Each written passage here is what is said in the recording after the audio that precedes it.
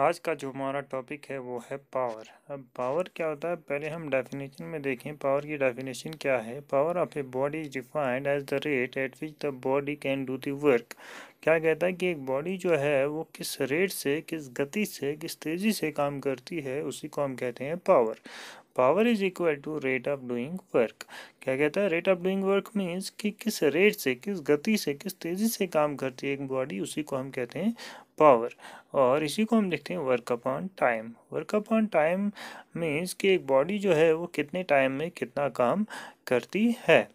दस power of an measure how fast it can do the work अब power को कैसे मेजर करें हम?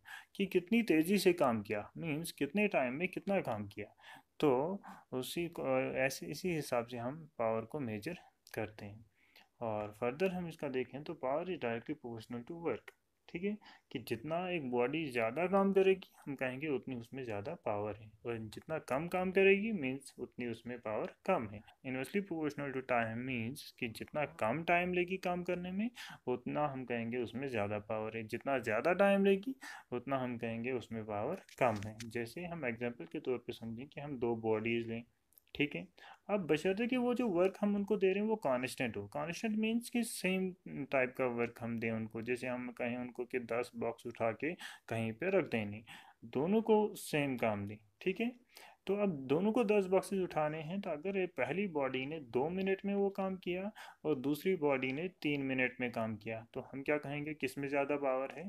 तो जैसा हमने देखा कि इन्वर्सली प्रोपोर्शनल टू टाइम है मीन्स जितना कम टाइम लगेगा, उतना ही उसमें ज़्यादा पावर तो पहली बॉडी ने कम टाइम लिया दैट मीन्स हम हम कह सकते हैं कि उसमें ज़्यादा पावर है। दूसरी बॉडी ने ज़्यादा टाइम लिया, हम कह सकते हैं कि उसमें पावर कम है। ठीक है? अब पावर को हम कैसे लिखते हैं? वर्क अपन टाइम ठीक है? वर्क का आ, कैसे रिप्रेजेंट करते हैं? वर्क को हम डब्ल्यू से और टाइम को किससे रिप्रेजेंट करते हैं? टी से ठीक है? और वर्क किसके बराबर होता है? फोर्स इंटू डिस्प्लेसमेंट तो वर्क की जगह हमने क्या लिखा? Force into displacement upon time अब डिस्प्लेसमेंट अपॉन टाइम किसके बराबर? विलासिटी के बराबर ठीक है? जैसा कि हमने पीछे लेक्चर पीछे चैप्टर में डिस्कस भी किया है डिस्प्लेसमेंट अपन टाइम किसके बराबर होता है? वेलोसिटी के बराबर। तो हम पावर को लिख सकते हैं फिर dot product of force and velocity तो हम पावर को लिख सकते हैं फिर dot product of force and velocity ठीक है? अब डार्ट प्रोडक्ट से जब हम डॉट हटाएँ तो क्या होता है? जैसे कि हमने पीछे भी डिस्कस किया, जब हम डार्ट प्रोडक्ट से डॉट हटाएँगे तो ये हमारा था पावर का मैथमेटिकल एक्सप्रेशन जब हम डार्ट प्रोडक्ट से डॉट हटाएँगे तो क्या आएगा? एफ़ वी कॉस थीटा आएगा, ठीक है? और बाकी किस तरीके से हम पावर को लिख सकते हैं? वो यहाँ पे हमने दिखाया हुआ है कि पावर को हम वर्क अपॉन टाइम लिख सकते हैं, ठीक है? और वर्क किसके बराबर था? फोर्स इंटू डिस्प्लेसमेंट तो इस तरीके से भी लिख सकते हैं कि power is equal to force into displacement upon time ठीक है? और फिर हम फोर्स जो है वो किसके बराबर होता है? फोर्स होता है मास इंटू एक्सरेशन ठीक है तो हम पावर को इस तरीके से भी लिख सकते हैं mass into acceleration into displacement upon time तो न्यूमेरिकल तो न्यूमेरिकल पर्पज़ के लिए अगर हमें यूज़ करना हो तो हम इन मैथमेटिकल एक्सप्रेशन का यूज़ कर सकते हैं। ठीक है फर्दर हम यूनिट को डिस्कस करें तो यूनिट ऑफ़ पावर क्या होता है? यूनिट ऑफ़ पावर पावर किसके बराबर होता है? वर्क अपॉन टाइम के बराबर होता है।